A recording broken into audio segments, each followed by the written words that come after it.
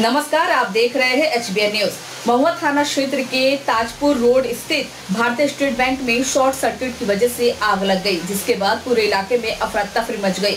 वहीं दमकल की दो गाड़ियाँ मौके पर पहुंचकर आग पर काबू पा लिया। महुआ थाना क्षेत्र के ताजपुर रोड स्थित भारतीय स्टेट बैंक में शॉर्ट सर्किट लग जाने के कारण आग लग गई। उस समय अफरा तफरी मच गई, जब आसपास के लोगों ने बैंक के अंदर से धुआँ निकलते हुए देखा। तभी लोगों ने इसकी सूचना महुआ थाना को दी और तुरंत दमकल कर्मी मौके पर पहुँचे। दो दमकल गाड़ी के काफ़ी मशक्कत के बाद आग पर काबू पाया गया। बताया जा रहा है कि शनिवार रहने के कारण बैंक बंद थी। Bureau report, HBN news.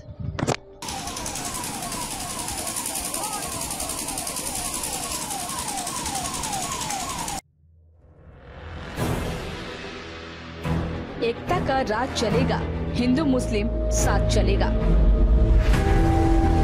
मुश्किल इस राह में मुस्कान नहीं छोड़ूँगी।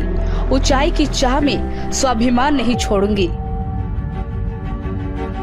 महुआ विधानसभा क्षेत्र के दोनों प्रखंड के अंतर्गत विभिन्न पंचायतों में पिछले तीन सालों से मेडिकल कैंप लगाकर लोगों की सेवा में तत्पर।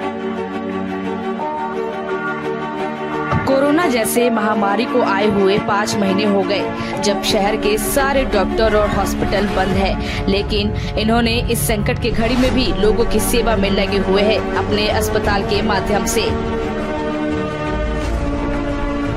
पिछले पाँच महीनों से कोरोना वायरस जैसे खतरनाक बीमारी से बचने के लिए लोगों के बीच साबुन, मास्क का वितरण और लोगों के बीच घूम घूम कर इस बीमारी के खिलाफ सजग रहने की सलाह दी। महुआ विधानसभा क्षेत्र में मेडिकल कैंप के दौरान फ्री दवा का वितरण।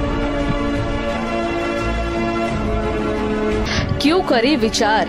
ठीक तो है, नीतीश कुमार, डॉक्टर आसमा परवीन। प्रदेश महासचिव जदयू बिहार स्वभावी विधायक प्रत्याशी, महुआ विधानसभा 126 संस्थान, Misha clinic private limited, Johari Bazar, Hajipur Vaishali.